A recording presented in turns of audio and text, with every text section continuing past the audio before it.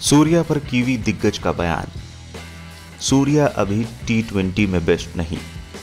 दिग्गज ने बताया इसका बड़ा कारण।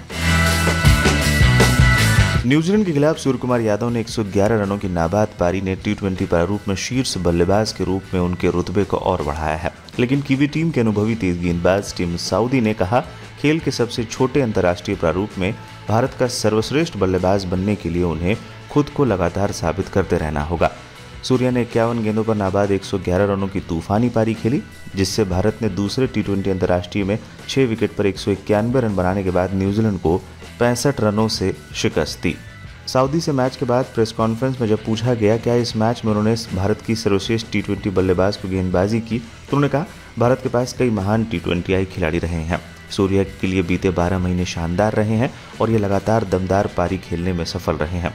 टी ट्वेंटी अंतर्राष्ट्रीय में 106 मैचों में 132 विकेट लेने वाले इस गेंदबाज ने कहा, भारत ने न केवल टी ट्वेंटी प्रारूप में, बल्कि तीनों प्रारूपों में ही कई अद्भुत क्रिकेटर दिए हैं।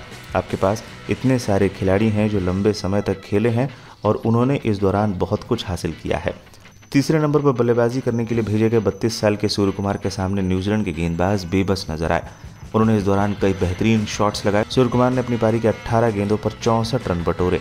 मैच में हैट्रिक पूरा करने वाले सऊदी ने कहा, वो ऐसे खिलाड़ी हैं जो एक गेंद पर कई तरीके के शॉट्स लगा सकते हैं। वो आईपीएल अंतर्राष्ट्रीय क्रिकेट में पिछले 12 महीने से शानदार लय में है। उन्होंने आज कमाल की पारी खेली।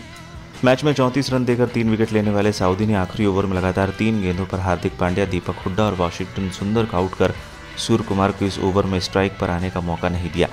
इस पर 33 साल के इस गेंदबाज ने कहा, मैं थोड़ा भाग्यशाली था कि आखिरी ओवर में गेंदबाजी करने का मौका मिला। कई बार आप अच्छी गेंदबाजी करने के बाद भी विकेट नहीं चटका सकते, लेकिन आज स्थिति दूसरी थी और यही खेल का हिस्सा है।